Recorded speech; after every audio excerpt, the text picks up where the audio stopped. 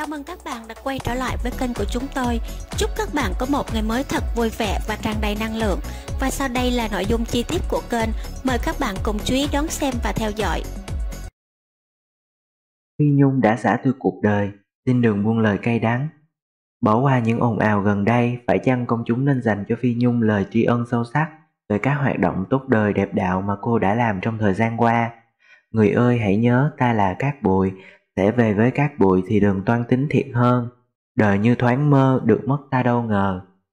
Vài câu hát của nghệ sĩ Quang Lập khiến không ít người xúc động, đặc biệt là trong thời điểm một nữ danh ca tài sắc của nền âm nhạc Việt Nam đã ra đi. Trưa ngày 28 tháng 9, công chúng bàng hoàng khi nghe tin ca sĩ Vi Nhung đã trút hơi thở cuối cùng tại bệnh viện chợ rẫy thành phố Hồ Chí Minh.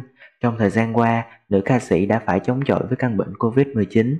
Sinh thời, ngoài nổi tiếng trong giới nghệ thuật, Phi Nhung còn được nhiều người yêu mến khi có tâm nhận nuôi các em bé mồ côi. Phi Nhung còn thường xuyên làm từ thiện. Đại dịch càng qua, cô đã xung phong vào tâm dịch để giúp đỡ bà con nghèo.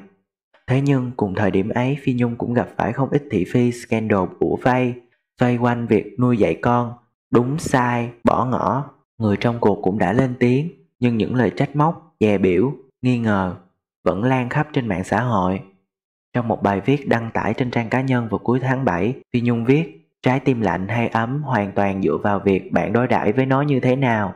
Nếu bạn nâng niu thì nó sẽ ấm áp, nếu bạn để mặt thì nó sẽ lạnh lùng. Tình người xa hay gần hoàn toàn dựa vào cách chúng ta đối xử. Không biết từ khi nào chỉ cần vài thông tin trên mạng lại khiến cho con người ta vô tâm và bình luận điên cuồng về một người tới vậy. Khoảng thời gian đó, có lẽ nữ ca sĩ đã chịu không ít tổn thương về tinh thần. Thậm chí vài ngày trước, khi Vi Nhung vẫn còn nằm trên giường bệnh, đối diện với ranh giới của sự sống, vẫn có những kẻ dựa vào ẩn danh trên mạng để trù ẻo, nói ra những lời cay nghiệt. Và cho đến hôm nay khi trút hơi thở cuối cùng, chính thức về với các bụi, những tưởng nghĩa tử là nghĩa tận, nhưng không, vẫn còn rất nhiều bình luận mỉa mai, cười trên mất mát lớn nhất là sinh mệnh. Nuôi một đứa trẻ đã khó, huống hồ gì là hơn chục đứa con nuôi, gia đình ruột thịt còn xảy ra xích mích, nói chi đến việc chỉ dưỡng không sinh. Phi Nhung nhận được sự yêu mến suốt mấy mươi năm qua không dễ gì vài ngày bị chê trách mà bỗng nhiên biến thành người xấu. Nhưng đến lúc này dẫu có nói gì thêm nữa đều vô ích. Một kiếp người cứ thế mà thành tro bụi. Xin đừng buông thêm lời cay đắng với người đã khuất. Hãy nhớ về Phi Nhung như một nghệ sĩ tận tâm, cống hiến cho âm nhạc, cho khán giả Hãy nhớ về Phi Nhung như một người thiện tâm thường xuyên giúp đỡ bà con nghèo. Hãy nhớ về Phi Nhung như người mẹ đã tận tâm nuôi dạy những đứa trẻ. Cuối cùng, ai cũng sẽ trở về làm hạt cát của nhân gian. Hôm nay nói lời hay, làm việc tốt, ngày sau tấm thân an lành. Mà dù là lời cay đắng hay tiếc thương thì Phi Nhung cũng đâu còn nghe được nữa.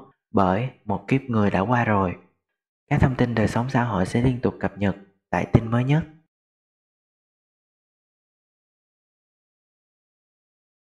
Bản tin của chúng tôi đến đây đã kết thúc. Cảm ơn các bạn đã quan tâm và theo dõi. Hẹn gặp lại các bạn ở những bản tin tiếp theo.